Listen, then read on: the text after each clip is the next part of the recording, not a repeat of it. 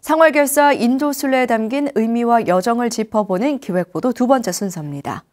인도순례가 채 한 달이 남지 않은 지금 43일간의 순례 일정과 주요 행사는 무엇인지 윤호섭 기자가 정리했습니다.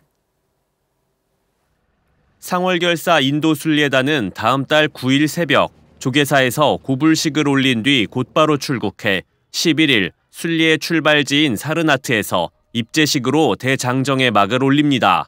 이후 하루 평균 25km에 달하는 거리를 걸어 43일간 부다가야, 라즈기리, 바이샬리, 쿠시나가르, 룸비니, 쉬라바스티 순으로 참배합니다. 순례단은 매일 새벽 2시 도량석으로 하루를 시작해 아침 예불을 올리고 3시부터 낮까지 행선을 이어갑니다. 또 저녁 예불이 끝난 뒤에는 순례대중이 함께 108배를 올리고 금강경을 독송하는 시간도 보내게 됩니다. 대부분의 성지에선 별도의 기도법회가 봉행되며 순례 18일 차인 2월 26일에는 동국대가 새로 문을 연 날란다 대학과 자매결연을 맺고 라즈기리에서 6개국 학자들이 참여하는 국제학술대회를 개최합니다.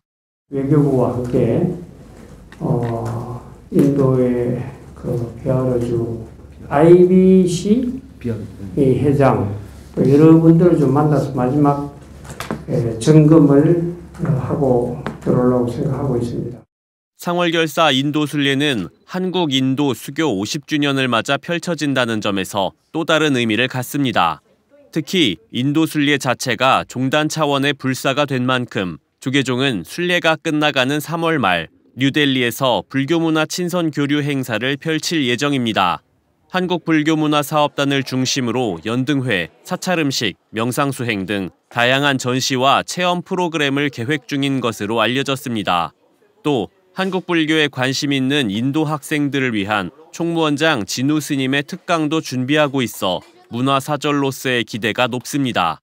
종단에서는 총무원장 진우 스님께서 순례단의 안전과 원만한 회양을 늘 강조하고 계시고 또 총무부장 어, 호산 스님께서 총도감이시기 때문에 여러 가지 종단의 행정적 지원들을 세심하게 살피고 계십니다.